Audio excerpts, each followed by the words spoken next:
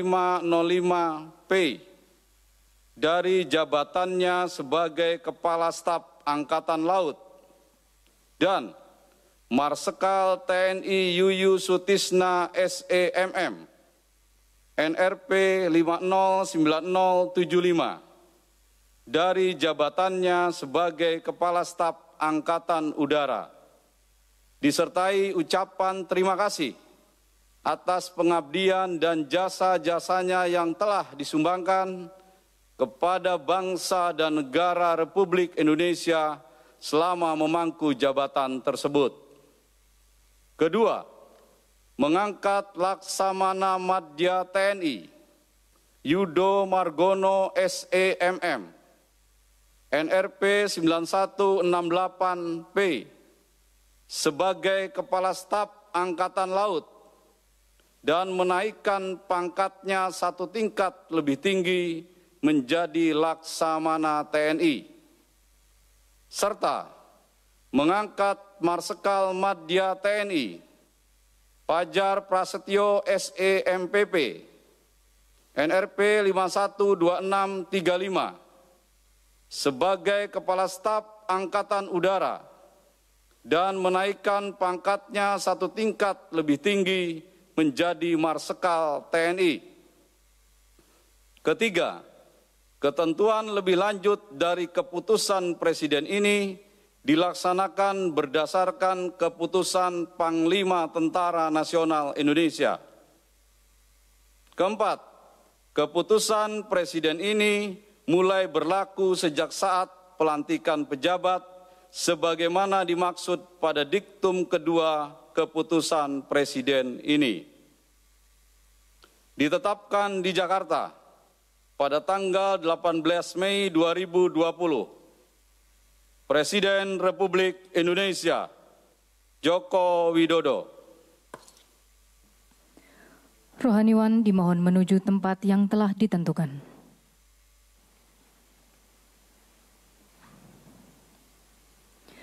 Pengambilan sumpah jabatan Kepala Staf Angkatan Laut dan Kepala Staf Angkatan Udara oleh Presiden Republik Indonesia.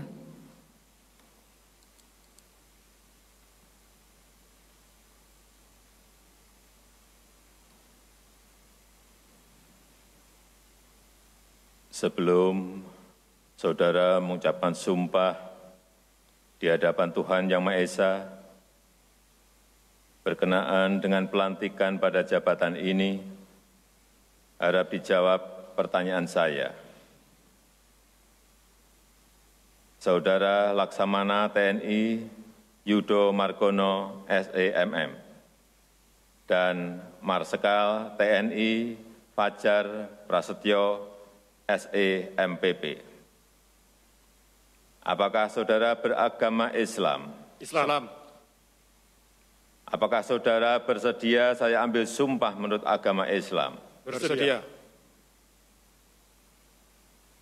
Harap saudara mengikuti dan mengulangi kata-kata saya.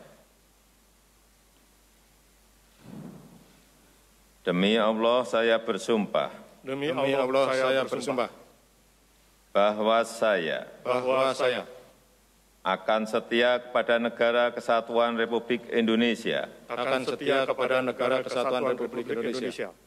Yang berdasarkan Pancasila yang berdasarkan Pancasila dan Undang-Undang Dasar dan Undang-Undang Dasar Negara Republik Indonesia Negara Republik Indonesia tahun 1945 tahun 1945 serta akan menjalankan serta akan menjalankan segala peraturan perundang-undangan segala peraturan perundang-undangan dengan seluruh-seluruhnya dengan seluruh-seluruhnya demi dharma bakti saya demi dharma bakti saya kepada bangsa dan negara. kepada bangsa dan negara. Bahwa saya bahwa saya dalam menjalankan tugas jabatan dalam menjalankan tugas jabatan akan menjunjung tinggi etika jabatan, akan menjunjung tinggi etika jabatan, bekerja dengan sebaik-baiknya, bekerja dengan sebaik-baiknya, dan dengan penuh rasa tanggung jawab. Dan dengan rasa penuh tanggung jawab. Bahwa saya, bahwa saya akan menjunjung tinggi sumpah prajurit. akan menjunjung tinggi sumpah prajurit. Rohaniwan dimohon kembali ke tempat semula.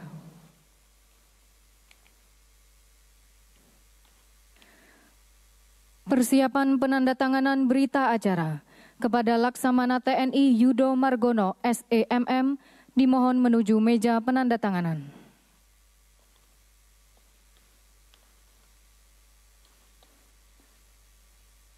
Kepada para saksi dimohon menuju meja penandatanganan.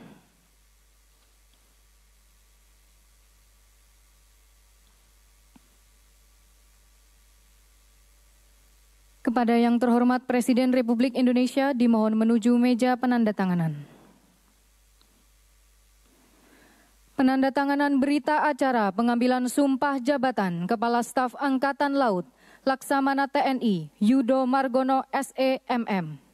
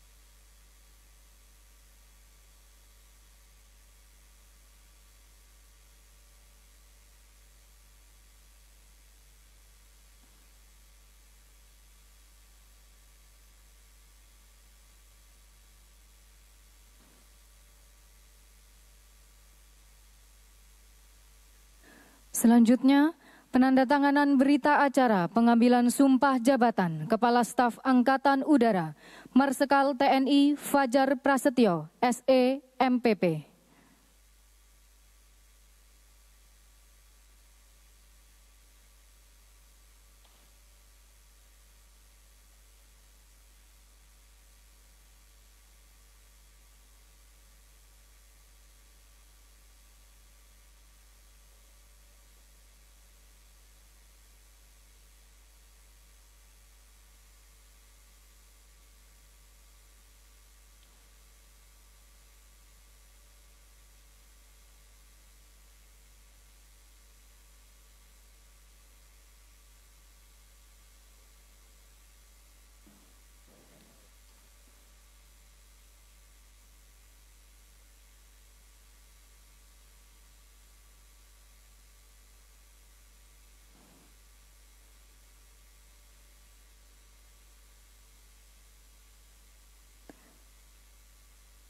Kepada yang terhormat Presiden Republik Indonesia, dimohon kembali ke tempat semula. Para saksi dan kepala staf Angkatan Udara dimohon kembali ke tempat semula.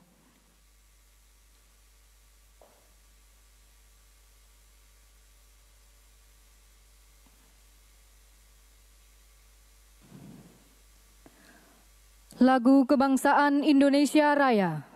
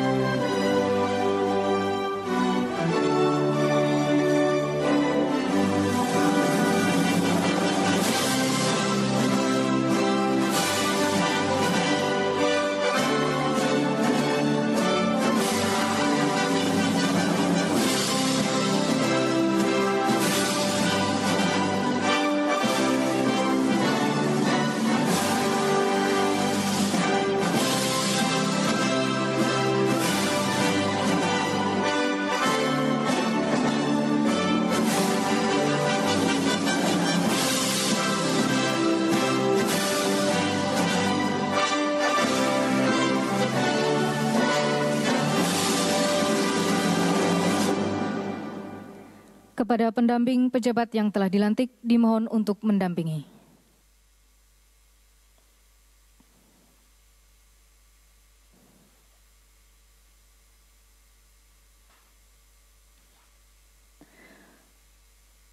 Pemberian ucapan selamat didahului oleh Presiden Republik Indonesia, diikuti oleh undangan lainnya.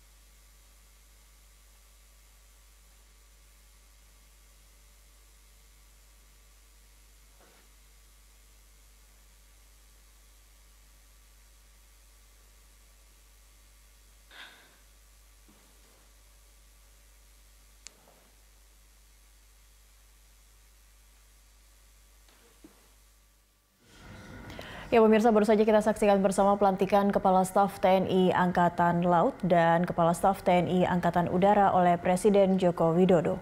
Laksamana Madya Yudo Margono dilantik sebagai Kepala Staf TNI Angkatan Laut menggantikan Laksamana Siwi Sukma Aji yang memasuki masa pensiun. Laksamana Madya Yudo Margono yang sebelumnya menjabat sebagai Panglima Komando Gabungan Wilayah Pertahanan 1 sejak 24 September 2019. Yudo aktif memberikan informasi terkait penanganan pasien positif COVID-19 di Rumah Sakit Darurat Wisma Atlet. Ia merupakan lulusan Akademi TNI Angkatan Laut tahun 1998 dan mengawali karirnya sebagai asisten perwira divisi senjata artileri rudal di KRI YNS 332. Dengan pelantikan ini, maka Yudo naik pangkat menjadi bintang 4 atau Laksamana TNI. Sementara itu, Marsikal Madya Fajar Prasetyo dilantik sebagai Kepala Staf TNI Angkatan Udara, menggantikan Marsikal TNI Yuyu Sutisna yang memasuki masa pensiun. Marsikal Madya Fajar Prasetyo saat ini menjabat sebagai Panglima Komando Gabungan Wilayah Pertahanan II. Selain menjadi Panglima Komando Gabungan Wilayah Pertahanan II, Fajar Prasetyo merupakan mantan Direktur Pendidikan dan Latihan Komando Pendidikan dan Latihan Angkatan Udara. Dengan pelantikan ini, Fajar Prasetyo akan berpangkat Marsikal TNI atau Bintang 4. Pemirsa demikian spesial report berita satu, saya Cakri Miller, sampai jumpa.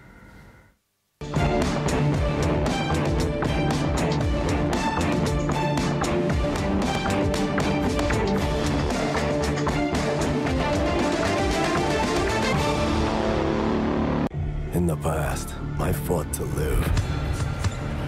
I fought destitution, grief, discrimination, antisocial behavior, low self-esteem, parental disapproval. Now I live to fight to inspire a new generation. Triumph awaits those who dominate any condition. Drink UC 1000. 42 hari di ICU demi melawan COVID-19 bukanlah perjuangan enteng. Simak kisahnya dalam live forum Perjuangan Lawan Maut di ICU COVID-19 menghadirkan Ivan Petrus Sadik, Martogi Siahaan, Profesor Dr. Joko Santoso, Kolonel CKM Dr. Muhammad Hasim, serta Dr. Alan Widisanto. Acara ini diprovokatori ahli bedah saraf terkemuka, Profesor Eka J. Wahyu Pramono, live di YouTube Berita 1 dan Auto 2000 ID. Rabu 20 Mei 2020 pukul 15 waktu Indonesia Barat. Acara ini diprakarsai Universitas Pelita Harapan dan didukung sepenuhnya oleh Berita 1 Media Holding. Acara ini dipersembahkan oleh Auto 2000.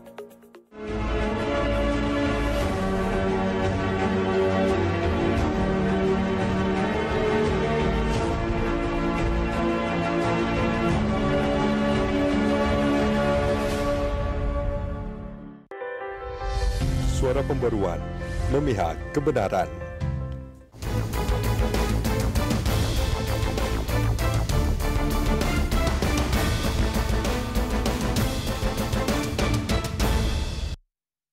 Presiden Joko Widodo menyoroti sejumlah persoalan dalam penyaluran bantuan sosial bagi masyarakat di tengah pandemi. Salah satu kendala yang digarisbawahi Presiden adalah aturan yang berbelit-belit sehingga berakses pada maksud kami berakses pada terhambatnya penyaluran.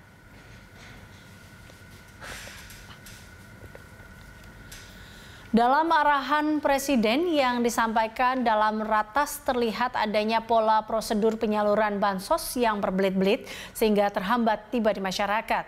Presiden meminta jajarannya untuk segera menyederhanakan aturan di tengah situasi extraordinary dengan tetap menjunjung akuntabilitas yang tinggi.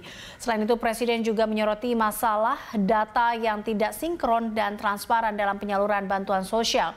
Terkait hal ini, Presiden juga meminta jajarannya untuk segera membuat mekanisme yang terbuka dan transparan dalam proses penyaluran. Kecepatan yang kita inginkan agar bansos itu segera sampai di masyarakat ternyata memang di lapangan banyak kendala. Dan problemnya, problemnya adalah masalah prosedur yang berbelit-belit. Pada situasi situasinya ada situasi yang tidak normal.